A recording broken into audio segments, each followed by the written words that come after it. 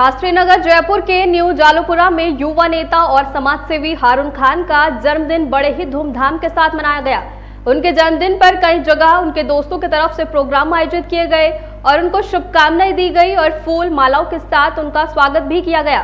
जहाँ उनका फूल मालाओं के साथ स्वागत किया गया। हारून खान ने बताया कि लोगों का और वार्ड तैतीस की जनता का प्यार है और मुझे उम्मीद है लोगों का प्यार इसी तरीके से बना रहेगा और मैं हमेशा लोगों की सेवा के लिए तत्पर रहूँगा और आगे भी इसी तरीके से जनता की सेवा करता रहूँगा।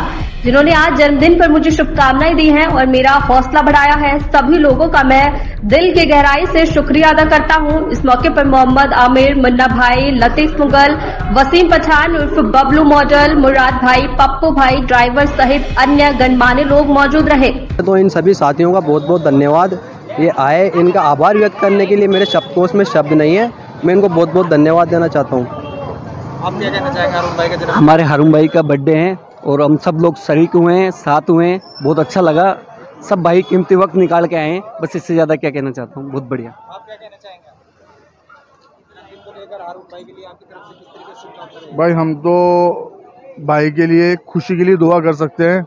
और जो आज ये माहौल हुआ सब लोग साथ खड़े हुए बहुत अच्छा लगा। और हमेशा सब लोग साथ खड़े रहे। बिल्कुल है भाई बिल्कुल है। बिल्कुल हर तरीके से साथ है भाई हम। बहुत अच्छा नेक ईमानदार लड़का है और हम यही दुआ करेंगे आगे से आगे बढ़ता रहे थोड़ा थोड़ा ये। अरुण भाई आपका जन्मदिन मनाया गया है और बड़े धूमधाम से मनाया गया है।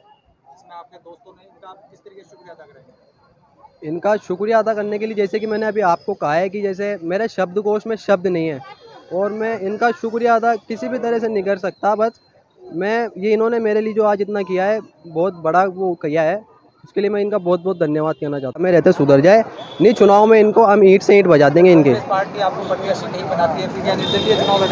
देखिए वो तो समय बताएगा जब हम आएँगे जब बताएँगे हमारे विषय में राजनीति।